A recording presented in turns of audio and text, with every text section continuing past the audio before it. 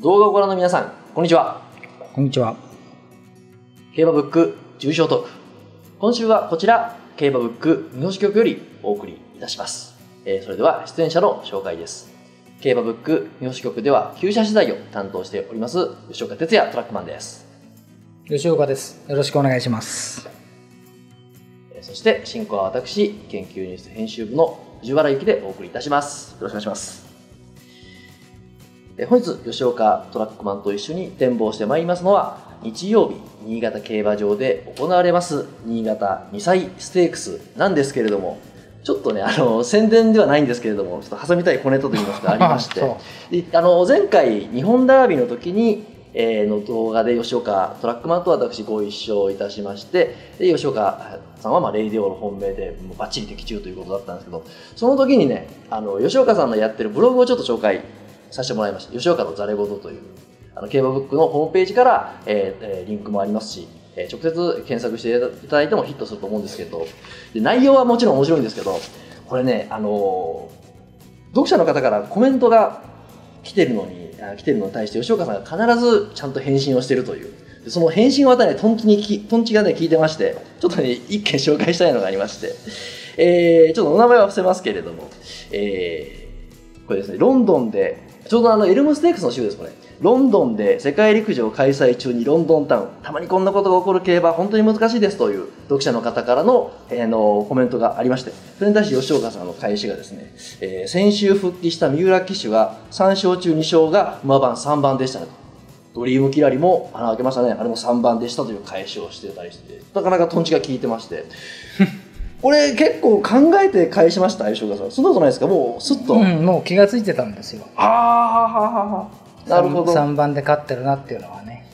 予想にはそういう要素はあんまり入れ入れないんですよね吉岡さん。いや、県徳外で3連単とかは入れますがね。はあ、はあはあはあ、なるほど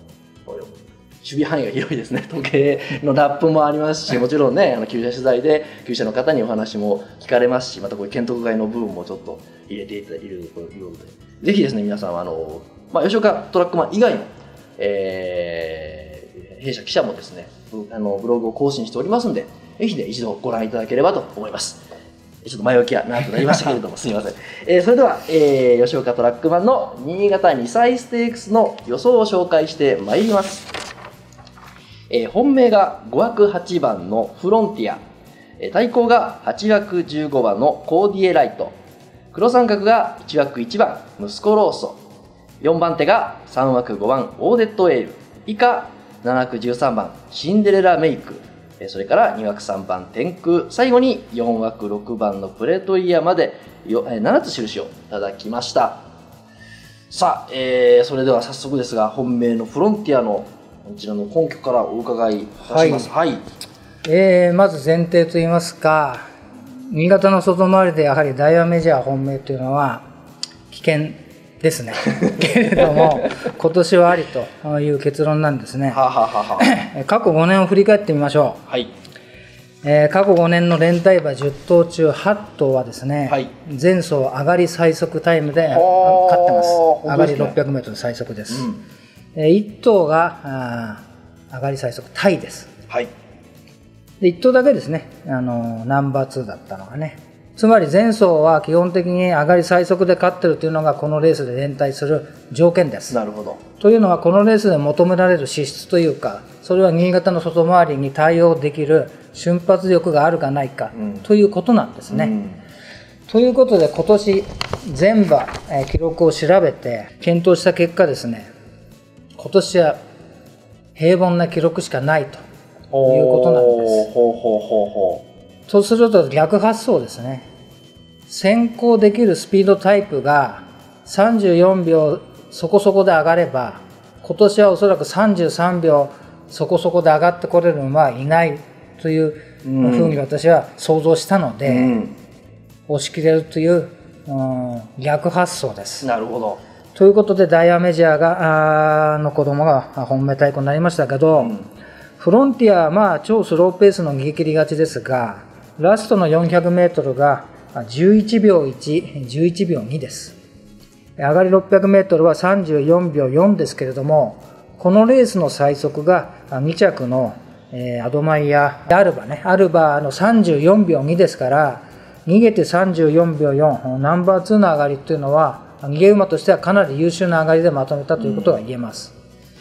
でこの上がりでまとめられればなんとか今年のメンバーであればあ封じられるという結論ですね、うん。なるほど。ちょっとまああのワールドオールスタージョッキーズがね吉岡さん札幌で行われるようになった絡みでやっぱりジョッキーがそっちに行っちゃう分新潟2歳に有力馬があんまり使われなくなってる私気もするんですけれどね。どそううですね。ね今年はしかし例年にも増してちょっと低調なメンバーという気がします。なるほど。あの大体記録が優れた馬が1頭、ええ。2頭いてですね、ええ。さっと本命が決まるのが例年決まるんです、うん。今年は全然決まらないんです。うん。だから切り口一つで何でも OK ですし難しいですよ、難解と言いますか、混戦と言いますかという見立て。さあ、えーそしてまあ対抗のままでいただきましたけれども。あコーディエライトはそうですね。こちらもやはり先行力を生かしてという形ですよね。そうですね、はい。まあ、2戦目の逃げ切りは、うん。まあ、前後半で見るとスローペースを逃げ切ってますから、はい。1回の逃げ馬ではないと思いますし、うんうんうんこのラップから推測して距離延長少なくとも 1600m までは大丈夫だと思います、なるほどえータイム的にはほぼ水準1分22秒2で、え勝ちましたけど2着レピアウィットに6馬身差をつけました、はい。このレピアウィットはえープレトリアという新馬が勝ったところのはい。0秒1差2着の馬ですから、うん。つまりプレトリアの0秒1差1差半2着の馬を6馬身ちぎったということです、えこの対戦比較から、えー府中組つまり東京デビュー組とのお少しこうなんていうのかなレベルの比較の目安になると思うんですね。はあはあはあはなるほど。もう中京の組の方が上だというふうに考えられたということで。3番手1枠1番のこれは息子ローソこちらも東京の新馬を勝っておりますねこちら。もはい、えー上がり 600m 最速で勝った馬の中で、はいはい。最も速いのがこの馬の34秒1です。ね、うん。で天空は33秒7で勝ってますが、ええ。上がり 600m がレースの最速ではありません、なるほど。えー息子ローソはこの34秒1という足をですね果たして距離が伸びて新潟の外回りでこの足を使えるのか、うん。もちろん先ほど言いましたように、うん。前の組が34秒そこそこで上がるということを考えれば、この馬は33秒台の足が求められまそうですすね。アドマイヤムーンの肌でお父さんがヘニー・ヒューズで、私はやはり新潟の外回りの 1600m の瞬発力勝負にはあまりイメージが湧かなかった。しかしわからない部分もある。うん。ということで黒三角です。なるほどそして4番手、えーオーデット・エール。これは実際に新潟のお同じ舞台で新馬を勝ってます、はい。えー1分36秒1上がりえー 600m34 秒5は、まあ、ちょっと平凡という感じはしますが、まあ、スローペースですからねある程度時計に関してはいいんですがラスト 400m のラップを見ますと10秒911秒8一応うん真ん中に10秒台が入ってれば一応私は9台は与えています。うんうんうんうんただやはりこのレースで勝ち負けしてきた新潟組デビュー組を見ますとねやっぱり外回りではもっと速い足を使ってますね。うーん。33秒台ぐらいの強烈な足を見せてます、はい。そういった点ではこの馬の勝ち方、えー上がりはうーんそれほど強調できるものではないということです。なんかね、今日はちょっと歯切れが悪い感じで全体に、えーすみませんでもまあシンデレラメイク以下えーシンデレラメイク天空プレトリアまでいただきましたけれどちょっと私聞いてみたいのは吉岡さんの厩舎時代を担当されている天空なんですけれどもこちらいかがでしょうか？調整はすごくうまくいきましたね。はい。っていうのはヨハネスブルグの子で新馬戦ちょっとかかる面を見せるんじゃないかなっていうのがあったんですが実際にはきちっと折り合いがついてい。い勝ち方ができました、ただ一度レースを使われたことでテンションが上がる点を考慮して、まあ、そういうふうにまあ上がらないようにあまり馬を追い込まないような調整をして非常に調教までは、えーいい形で、えーレースを迎えるあの仕上がりができました、ただ競馬ですね、うん。実戦行ってのテンションで、はい。新潟の外回りでレース2戦目でですね、はい。スイッチが入る可能性とか不安はないとは言えません。もともとヨハネスブルクで気のあ気持ちの前向きな馬ですかうん。らなるほど2戦目でスイッチが入るとやっぱ折り合いという点で不安が出てきます。そういう点では同じですね。ヨハネスブルク産具の産具のプレトリアという馬もやはり折り合いという面でちょっと不安がないことはないです。うんなるほど。というご意見いただきました。さあ吉岡さん馬券の方は新潟日産 SX どのように買われますか？このレースは非常に難しいというか、例年、本命が来ても2着が抜けるとはあなるほど。いうレースなので、え本命馬の単服しか買いません。そして当てるためには、ノーマークの馬を買わなければいけないという、非常に正義に欠ける馬券作戦を組み立てなきゃいけないのがこのレースなんです。なるほど。過去の競馬ブックの10年一覧見てもらいますと、本命は勝ってるんですけど、はい。2着が抜けるっていうパターンが非常に多いんですよ。はあはあはあ特に私、マイネル・サイルーンとかいう、まあ、ノーマークですけど、ええ。ちょっと気持ち悪いなと思ってるんです。はあはあはあはまあちょっとあの2着の馬がね過去あの16番人気とか15番人気とか10番人気っていうのがねあの紐割れしておりますんでねなかなかちょっと印が回らないところもあるということですので吉岡さんの馬券は、まあえーフロンティアの単勝と副賞ということでございます、えーそして私も僭越ながら予想を、えーしてみましたあのこのレースですね東京のダービー翌週に確か新馬が移行あの、うんね。スタートしたのが2012年からですよね。ちょうど午前サンプルが集まりました、で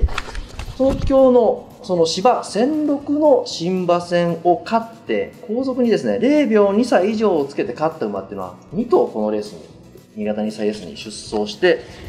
2着1着なんですね、まあ、ちょっとあの馬を紹介しますとイスラ・ボニータとそれからロードクエストなんですけれどもね、まあ、先々までちょっと楽しめそうな逸材なんです。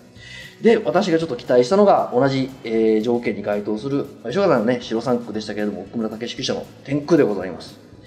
あのお兄さんのね伊吹という馬は去年3着でしたよね。でお兄さんの伊吹はまあルーラーシップの子供でした。でこちらまあヨハネスブルグ3区に変わりまして、まあ、吉岡さんおっしゃる通りそのスイッチが入る可能性危険性前向きな部分っていうのはすごくあるとは思うんですけれどもあのお兄さんに比べるとですね私はあの2番手からさっと抜け出したの新馬の内容瞬発力というか鋭さっていうんですかね。こちらの、あの距離適性はやはりある程度、えーマイル以上ってなってくると厳しくなるのかなとも、まあ、今後ね、あの育ち方によっては変わっていくんでしょうけどやはりマイル以下ぐらいで鋭さを生かすというところで、えー、お兄さんよりはこの新潟の外回り 1600m にひょっとしたら適性があるのではなかろうかと思っております。で奥村厩舎と言いますとヒプノティストでおととし6着。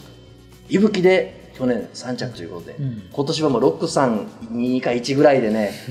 3度目の正直で、あの私はどちらも馬券をあの確かね、えーあの買った記憶があるんですいい馬なんですよね、両方ともね。あのぜひね、あの個人的にも応援しておりますんで、この天空から入ってみたいと思います。で、まあ、いろいろデータをですね、ひっくり返しまして、相手はちょっと5頭選びました。えー対抗に、え4枠6番プレトリア、え黒三角1枠1番息子ローソ、えー5枠8番フロンティアが4番手で以下、えー7枠13番シンデレラメイク。最後に吉岡さんもちょっと怖いとおっしゃってた4枠7番のマイネルサイルンを入れまして、えーこの天空の単勝と、えー残り5頭へ馬連を買ってみたいなと思っております、えー以上新潟日産 S を展望をお送りいたしました。えー豊富なデータ満載そして今日出演の吉岡トラックマンはじめ精鋭トラックの予想もご覧いただけます。競馬ブックウェブそれからスマートフォンアプリ競馬ブックスマート4もどうぞよろしくお願いいたします。9月23日にはい。競馬ブックでは第7回女性のための競馬講座を行います、はい。で締め切りが9月2日2日はい、募集中なので、はい。女性の方で競馬を歴が浅い方で競馬を一緒に楽しみたいなと思う方はぜひあの、はい。ホームページからご応募いただけるとと思います。場所は阪神競馬阪神競馬場です。大賓席ですか？はい、ひ特別席です特別席ね。ちょっと入れないしねかなりいい席だしあのグッズのプレゼントも ありますのでぜひよろしくお願いします。はい、ということで、えーはい。まあ、詳しくはホームページをご覧ください、ということでございました。ありがとうございました。といったわけでお送りしてきましたケバブック重症トーク次回もどうぞお楽しみに。本日はどうもありがとうございました。